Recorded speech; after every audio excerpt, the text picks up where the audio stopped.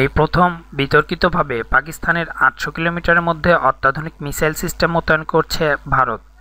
পাকিস্তান সীমান্তবর্তী দুইটি গ্রাম ব্যালিস্টিক ক্ষেপণাস্ত্র প্রতিরক্ষা ব্যবস্থা মোতায়েনের সিদ্ধান্ত নিয়েছে ভারত। রাজস্থানের আলোয়ার এবং পালিগ্রামে এই ব্যবস্থা মোতায়েন করা হবে।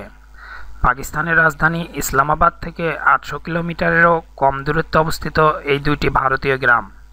ভারতে তৈরি ক্ষেপণাস্ত্র ব্যবস্থা এই দুই গ্রামে মোতায়েন করা হবে।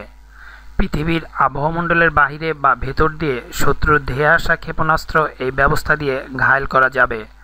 পনেরো থেকে বিশ কিলোমিটার উচ্চতা দিয়ে ধেয়ে আসা শত্রু ক্ষেপণাস্ত্র এই দিয়ে ঘায়েল করা সম্ভব হবে। এছাড়া দুই হাজার কিলোমিটার পাল্লার মধ্যে যে কোনো ক্ষেপণাস্ত্র ধ্বংস করা যাবে।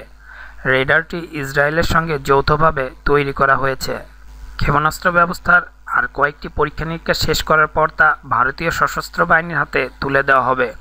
চলতি বছরের মার্চে এই ক্ষেপণাস্ত্র ব্যবস্থা সর্বোচ্চ পরীক্ষা সম্পন্ন করা হয়েছে। এতে আবহমণ্ডলের বাহিরে এবং ভেতর দিয়ে ধেয়ে আসা কল্পিত শত্রুর উভয় ক্ষেপণাস্ত্র ধ্বংস করা হয়েছিল। দেশি, প্রবাসী ভাই ও বোনেরা, আমাদের এই চ্যানেল হতে আপনারা যদি আরও লেটেস্ট নিউজ পেতে চান, তাহলে অবশ্যই সাবস্ক্রাইব করুন এবং সাবস্ক্রাইব বাটনের পাশে নোটিফিকেশন বাটনটি অবশ্যই অন করবেন। ধন্যবাদ সবাইকে।